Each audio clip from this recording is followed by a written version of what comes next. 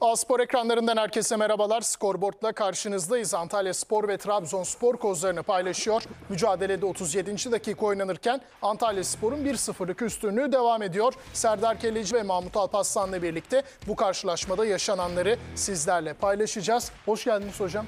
Hoş bulduk. İyi yayınlar. Hoş geldin Serdar Hoş. Keleci. Ee, çok hareketli bir ilk yarı oluyor onu söyleyelim. Trabzonspor bir penaltıdan yararlanamadı 12. dakikada Kalebe Kuban'la. Sonrasında 25'te Freddy'nin sağ taraftan yaptığı ortada arka direğe hareketlenen Hamilton kafayı vurdu. Skoru 1-0'a getirdi. Penaltıda elle oynayan ve sarı kart gören Ersan Adem Gülüm sonrasında e, kırmızı kartla oyun dışında kaldı. Abdülkadir Ömür'ü bir kontra atak pozisyonunda düşürdü Ersan Adem Gülüm ve takımını da 10 kişi bırakmış oldu. Antalya Spor 1-0 önde ama mücadelenin kalan bölümünde Trabzonspor'a karşı eksik olarak sahada olacaklar. Bu bilgileri paylaşalım. Karşılaşmaya odaklanacağız ama çok hızlı bir şekilde Fenerbahçe'nin ve belki de Türk futbolunun gündemindeki en önemli konulardan birine dair gelişmelerle alakalı sizlere haberdar edelim istiyorum. Fenerbahçe'den gel gündüzde gece olalım tweet'i gelmişti. Saatler 19.07'yi gösterirken sonrasında da Fenerbahçe'nin yeni transferi diyebileceğimiz Mesut Özil e, Sarı Lacivertli e, kulübün e, sosyal medya hesabından yaptığı paylaşımı alın, e, alıntılayarak sarı lacivert kalpler ve bir kum saati koydu. Fenerbahçe'nin tweetine bu şekilde karşılık vermiş oldu. Mesut Özil bu transferin artık resmiyete kavuşmasını bekliyoruz. Resmi olarak açıklanmasını bekliyoruz. Gerçekten çok önemli bir e, transfer yapıyor Sarı lacivertliler. Bunu da belirtelim. Antalya Spor Trabzonspor maçına e, döneceğiz. E, gece ilerleyen saatlerde takım oyununda son sayfada Mesut Özil'e dair bütün gelişmeler çok geniş bir şekilde değerlendirilecek A-Spor ekranlarında. Bunu sizlerle paylaşalım ve maça odaklanalım istiyorum. Hocam 1-0'lık Antalya Spor üstünlüğü var ama çok hareketli bir mücadele olduğunu da belirtebiliriz. Nasıl bir ilk yarı sizce geçti? İlk yarı tabii bütün e, oyun üstünlüğü Trabzonspor'da. Fakat girdikleri pozisyonları penaltıda dahil değerlendiremediler. Ama bir kontrataktan da yedikleri bir gol var. E bundan sonra daha zor geçecek Antalya Spor için. E çünkü o bir kişi eksik kalmak e, Trabzonspor'da aktif. Tabii orta sahadan çıkaracakları, kanatlarını ne şekilde e, oyunu yayacakları çok önemli. Ama e, bu 1-0 bitmez bir maç. Daha farklı ikinci devrede veyahut da daha e, devrenin bitimine kadar e, gol veyahut da goller bekleyebiliriz. Biraz e, ikinci devre daha baskılı, daha aktif. Eğer şu anda bir gol yakalarlarsa olay farklı bir boyuta gider. Maçtan beklentin neydi Serdar Keleci? Ne buldun şu ana kadar? Ya çok gollü bir müsabaka beklemiyordum e, maç öncesinde ama e, maç senaryosu tabii şu an biraz daha değişti kırmızı karttan sonra. Ama Antalya Spor'un e, son haftalardaki o e, takım savunmasına verdiği önem gerçekten e, takdiri hak ediyor onu söyleyebilirim. Ersun Yanal'ı daha önce çok eleştirdim ama e, şu anki gördüğüm Antalya Spor e, o taktik disiplinden çok fazla ödün vermeyen, biraz daha oyunu daraltan, e, bir takım haline bürünmüş onu söyleyebilirim. Bu ilginç. Şimdi beşli savunmaya da döndüler az evvel. E, zaten e, Orgil ve şey değişikliği oldu değil mi de? E, Eren Albayrak, E- Evet. Eren değişikliği oldu.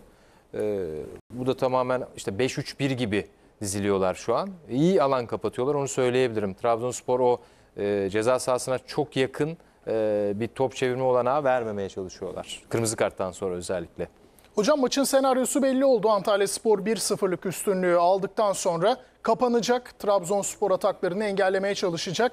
Direnebilir mi Antalya ekibi? Galatasaray deplasmanında yaptılar. Şeyi bilemiyoruz. e, Antalya Spor üçlü defansı ne şekilde oynuyor? Uzun dönemden beri oynamadığı bir defans kurgusu.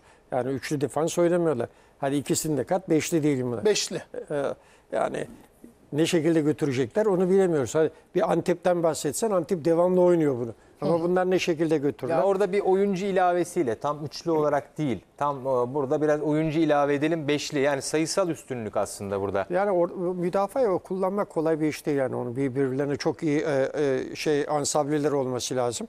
E, burada da tabii ne kadar söylesem bile müdafayı ne kadar yaparsan yap Trabzonspor'un göstereceği o kanat varyasyonları ve oyun içindeki orta sahadan çabuk çıkışları. E, siz onu yakalamanız lazım. Antalya çıktığı zaman topla buluştunuz mu çabuk çıkmanız lazım. Çok driptingle çıkıyorlar. Evet. Bütün takımlarımız bu şekilde.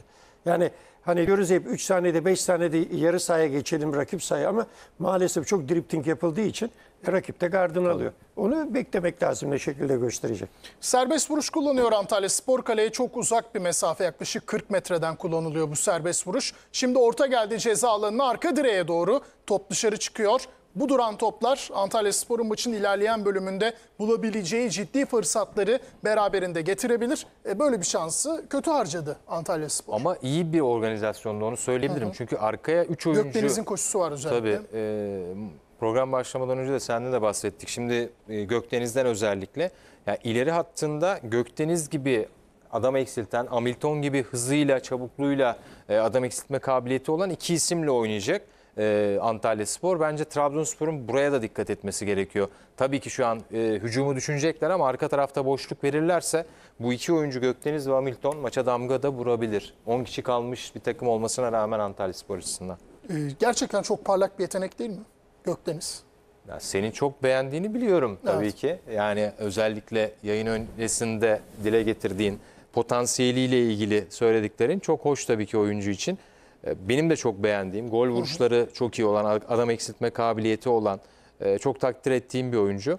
Ee, Umarım ama bu çizgisini bozmaz. Çünkü tabii ki bazen potansiyel olarak oyuncular hakkında konuşuyoruz ama sonrasında o çalışma temposu mu artık başka bir şey mi? Oyuncular geriye doğru gitmeye başlıyor. Umarız çalışıyordur ve kendisine iyi bakıyordur. Öyle iyi ki kazandırdılar ama Antalya Spor'a. Yani Evet. alt ligden e, Üçüncü ligden üçüncü geldi. ligden gelmiş bir oyuncu ama hiç yabancılık çekmemesi oyuncunun potansiyeliyle ilgili zaten bize ipuçları veriyor. Ee, 44. dakikadayız Antalya Spor Trabzonspor mücadelesinde skor hala 1-0. Hocam devrenin son bölümünde acaba eşitlik sayısı için Trabzonspor yüklenirken üretken olabilir mi? Var şu anda zaten dikkat edersek baktığımız kadarıyla e, çok böyle oyuna hakim gibi gözüküyorlar ama yaratıcılıklarını biraz e, şey yaptılar, e, dışarı attılar. Çünkü hep içeriden içeri yani kalabalık alanı sokmaya çalışıyorlar topu. Ekuban'a dikkat edersen orayı kullan. E, orası da kalabalık olunca o kadar mesafeden 15 metrelik mesafeden ceza sahasına oynadığınız toplar ya kalecide kalır ya müdafada kalır veyahut da bu şekilde kaybedersiniz. Yani onu da e, öne çekmeniz lazım. Rakibi ki o arka atılan toplardan istifade edilsin. Trabzon'un forvet hattı o şekilde. E, İkinci devre herhalde içeride daha farklı bir şeyler olabilir veyahut da oyun düzeninde bir değişiklikler yapabilir hoca. İkiliye dönebilir daha çok içeri atmalar için. Herhalde e, devre Antalya Spor'un için e, daha elzem olacak çabuk bitmesi. Onlar da tabii içeride o taktiksel görüşmeleri yapacaklar. Ee, hocanın Abdullah Avcı için bunu soruyorum. Oyuna bir müdahale etmesini gerektirecek bir durum şu an için var mı? Ya yok şu an için bence değil. Yani o senaryo gerçi yedek kulübesinde de çok ciddi hamle yapabilecek bir oyuncu var mı? Hani belki Flavio Afobe'yi sayabiliriz ama mevcut e, kadro belki bir tek maç öncesinde Victor Hugo tercihine şaşırdık hep beraber. Neden oynamadığına dair önemli bir atak olabilir mi? Kornerle sonuçlandı.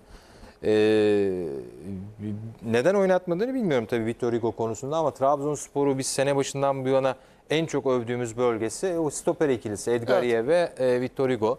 E, dolayısıyla be- belki ama oyuncunun kondisyonuyla ilgili, fizik durumuyla ilgili farklı bir şey vardır. Bir penaltı beklentisi mi var acaba Kerem? Sağ kanadı kullandı Antalya Spor. Gökdeniz Bayraktar Öyle topu gözüküyor. içeriye doğru gönderdi. Edgariye onun önüne yattı. E, Edgar'a çarpan bir top var. Antalya Sporlu oyuncuların Benzer. penaltı beklentisi söz konusu. E, mücadelenin hakemi de kolunun altına doğru çarptığını işaret etti. Konuşuyorlar şu anda. Ama. VAR'la ilgili bir Varla inceleme- alakalı evet diyalog sürüyor. Acaba bir penaltı kararı gelebilir mi?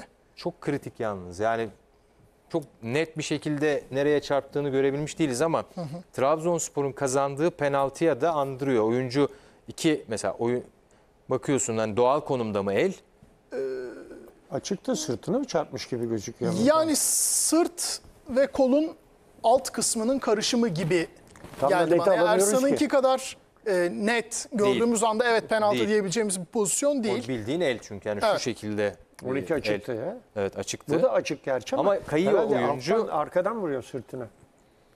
Elle oynama pozisyonlarıyla alakalı aslında her şey bir, bir noktada hakemlerin takdirine de e, bağlı olabiliyor. Misal e, iki hafta önce Liverpool maçını izlediğinizde belki bir penaltı pozisyonu vardı.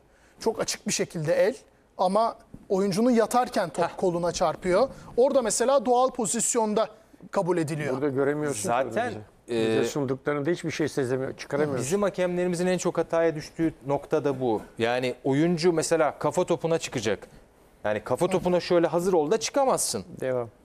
Kornerin kullanılmasını istiyor mücadelenin hakemi. Açılar zaten çok çok net bir şey söylemedi bize.